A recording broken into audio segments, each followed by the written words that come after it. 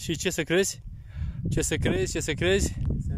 Ah, cabana Vârfomu, stația meteo. Uite aici. Spuneți domnul Cristian. Senzație. Senzație. Am ajuns. Nu am cuvinte, era să cad. Bineînțeles și de emoție. Am ajuns la 2507. Haide, Cristi, nu. Băi, dar nu mai cruci pe aici, fii atent.